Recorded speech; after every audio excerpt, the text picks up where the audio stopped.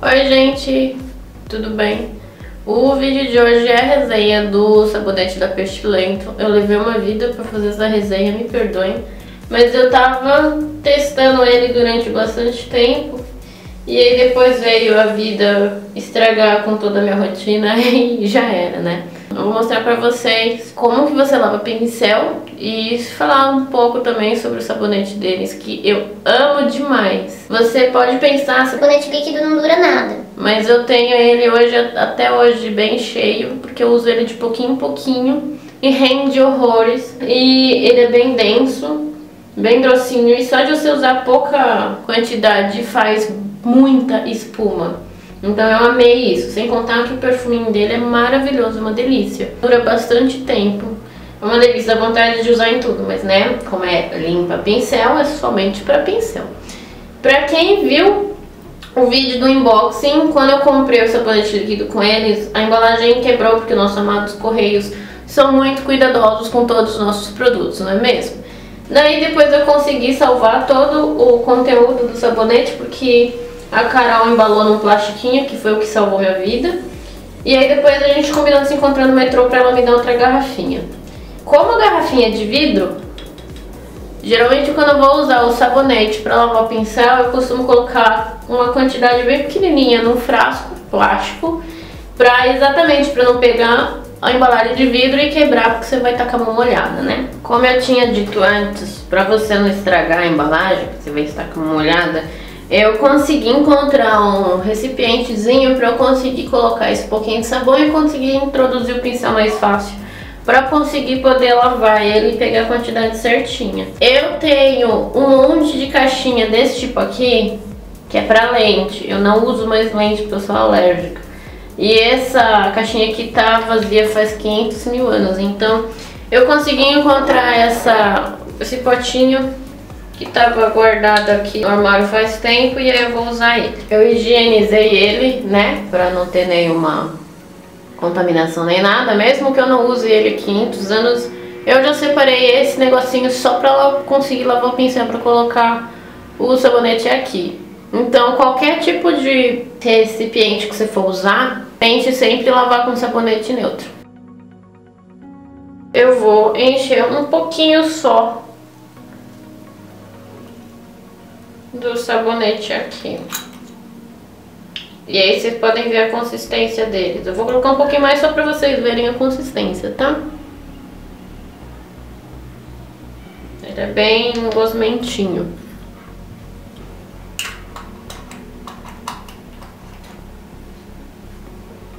Gente, só de eu colocar o sabonete ali já dá pra sentir o cheirinho dele. É uma delícia!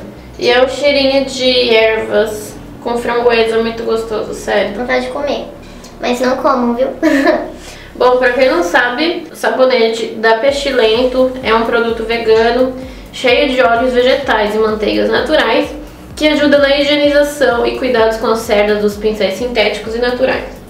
Eu tenho um pincel natural aqui, que é aquele de pelo de esquilo que eu tenho da Winsor Newton, que é o Petit número 0 que já apareceu uma resenha aí. Um pincel da Lucas, que veio no estojo quando eu comprei a minha aquarela do estojo deles, número 8, que já tá até saindo aqui. E um pincel bem grandão, da Winsor Newton, da Cotman, número 14. E esses dois aqui são sintéticos. Exatamente em, vários tamanhos para vocês verem como é que fica.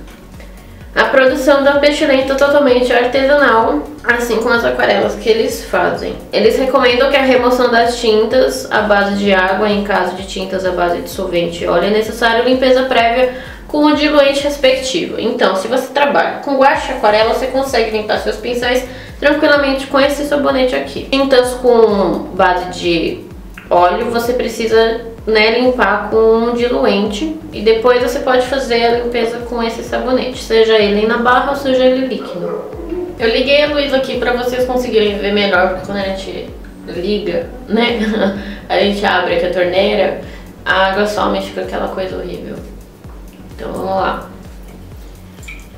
Imagine que seu pincel tá sujo, você pega e umedece ele. A gente fecha assim a água para não gastar. tira o excesso dele. A gente vai aqui no, no onde a gente colocou o nosso sabonetezinho, emerge um pouco ele ali. E aí você faz movimentos circulares na palma da sua mão para você lavar cuidadosamente as cerdas. Eu particularmente não sou fã de sabão em pedra pelo risco de você ter que friccionar o pincel nela para conseguir pegar um pouco de sabão e conseguir fazer espuma. O líquido eu acho que já facilita mais e rende horrores. Porque assim, geralmente quando a gente vai testar exatamente tinta em pastilha, né? Eu lembro que quando eu fiz aula com a Sabrina e com outros professores, a Catarina e etc., eles mesmos falavam, as cerdas dos pincéis são muito frágeis e para você poder fazer com que ela dure mais, o essencial é que, você, que a tinta saia fácil no, no pincel, você não tem que ficar esfregando, porque isso vai fazer atrito e vai machucar a cerda, né? ainda mais for um pincel natural. E isso machuca o pincel fazendo com que ele dure menos. Aí você abre continua o movimento circular. Como o pincel aqui no caso é grande e entra água mais fácil, então ele sai bastante já do sabão e sai mais fácil. Quando o pincel é menor, é mais sensível ainda, e se for de pelo natural, tem que ser bem mais cuidadoso na hora de lavar e enxaguar. Ok, próximo pincel. E aí você sempre tem que puxar ele para fazer o biquinho. Porque quando ele seca, ele já vai secar nesse formato. Pincel da Lucas. Esse barulho é o vizinho tomando banho, viu, gente? Fecha a água. E ainda sobrou bastante do sabonetezinho aqui. Tem a luz estourada, né? Ver agora.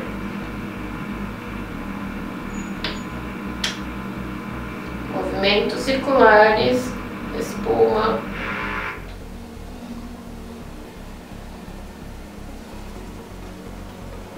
E aí a tinta que você usou no caso vai aparecer nessa espuminha. A espuma no caso não vai ficar verde, que é a cor do sabonete, né? Vai ser a cor do pigmento que você usou. Então, uma comparação bem legal para vocês entenderem. Quando a gente compra uma aquarela escolar, daquelas de pastilha, que é bem opaca e que é bem porosa, parece um giz, esse tipo de tinta, esse tipo de pastilha de pigmento, que não é ela costuma ser muito difícil de você retirar da pastilha. Então o que acontece? Você vai ter que esfregar com o pincel para poder tentar tirar esse pigmento. Só que como ela é fraca, não vai sair todo a tinta e isso você machuca o pincel, seja ele sintético ou natural. Mas né, sabemos de novo que natural é mais sensível porque é um pelo verdadeiro.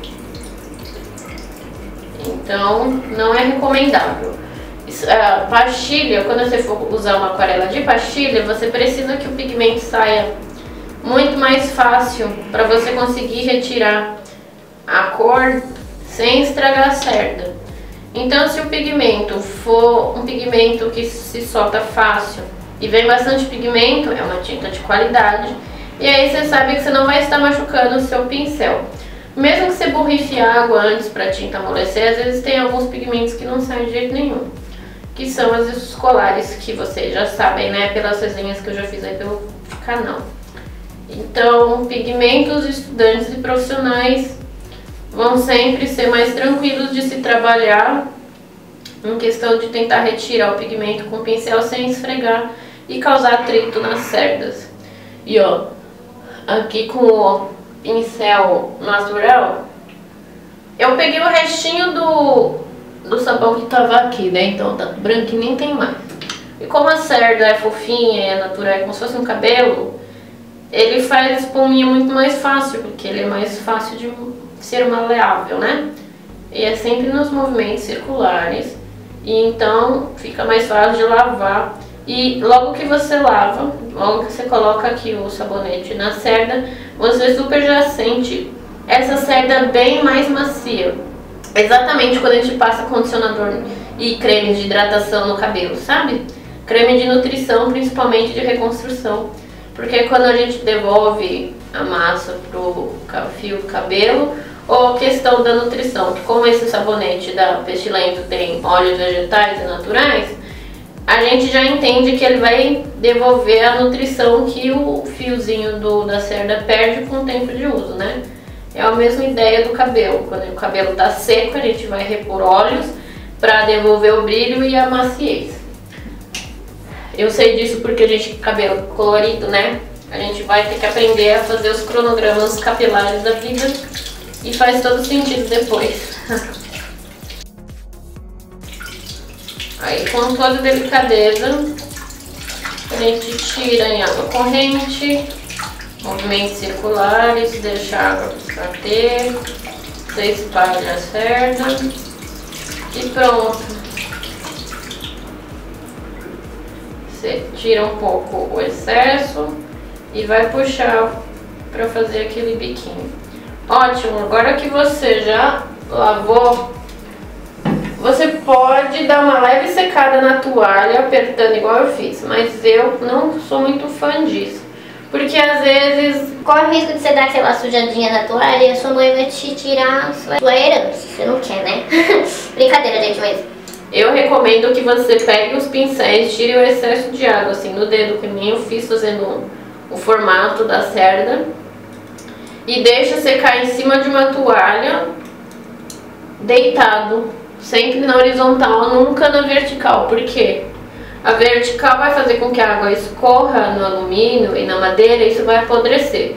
Sem contar que você vai danificar todas as cerdas do pincel, então não é recomendável. Então sempre deixe na horizontal. E aí ele vai secar naturalmente no dia seguinte provavelmente ele já vai estar tá seco. E vendo aqui na quantidadezinha que eu usei do sabonete deles, foi que quase dois dedos, um dedo do sabonete. Então tem bastante ainda no na garrafinha deles. Tipo, parece que eu nem usei, né? Oiê! Então, se vocês têm alguma dúvida sobre a questão de como lavar, se ficou alguma coisa que não ficou clara, em questão de sabonete, que tipo de sabonete usar, tem esse da Pestilento que é uma ótima opção. Tem gente que prefere usar sabonete em barra, mas se você for usar sabonete em barra, use com todo cuidado para não fazer muito atrito no, na cerda do seu pincel para você não machucar ele, ainda mais se for natural. Se você não é inscrito no canal, se inscreve aí no canal, tem muitas outras informações sobre arte, como que a nossa mente funciona criativamente, como é que você pode trabalhar com ela sem se frustrar e criar bloqueios criativos. Tem também vídeos sobre resenhas, que é o que mais tem aqui no canal, eu adoro fazer. Curte esse vídeo pra saber que esse tipo de vídeo é interessante você gosta dele. Se você ainda gosta de vídeos longos, me avisa aqui porque eu vou começar a fazer agora vídeos muito mais longos. Porque eu gosto de falar e eu sou detalhista. Tudo aqui. Se você não sabe, eu também dou aula de aquarela, tanto online quanto presencial. Eu deixo geralmente o grupo do Facebook aqui embaixo para você poder entrar nele e conseguir ter todas as outras informações.